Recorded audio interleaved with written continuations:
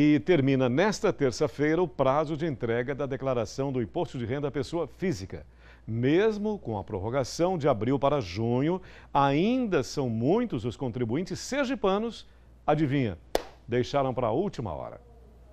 Neste vídeo, o auditor fiscal e supervisor do programa Imposto de Renda da Receita Federal, Nilson Lima, conta que até amanhã o órgão espera receber ainda 39.450 declarações. Os contribuintes têm nos apresentado nos últimos dias dois problemas básicos para encerrar sua declaração. O primeiro é quanto ao número de recibo de entrega da declaração do ano passado. Outro ponto que de certa forma tem dificultado a entrega é exatamente pelo fato de que, em função da pandemia, diversas empresas ou suspenderam suas atividades ou encerraram essas mesmas atividades e os contribuintes que são os seus é, colaboradores, não receberam declaração de, de rendimentos creditados no ano passado. Os contribuintes não fizeram as declarações pessoalmente nos escritórios de contabilidade este ano.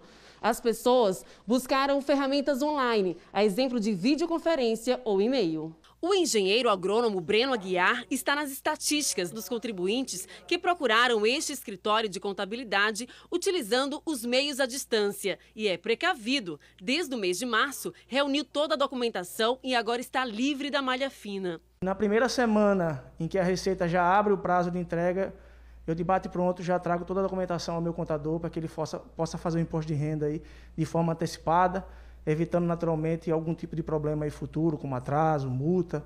Na véspera do encerramento do prazo para a declaração do imposto de renda, os contadores agilizam o trabalho daqueles clientes que deixaram para solicitar o serviço de última hora. Davi tem um escritório de contabilidade e conta que nos últimos 15 dias houve aumento da procura pelos serviços. Contabilizamos aqui um crescimento de 40% no número de contribuintes e nos procuraram para fazer a regularização da entrega do imposto de renda. O empresário e contador explica quais são as principais omissões dos contribuintes e lembra ainda que quem não declara o imposto de renda está sujeito a sanções. Está sujeito ao pagamento da multa mínima de 165 reais, né?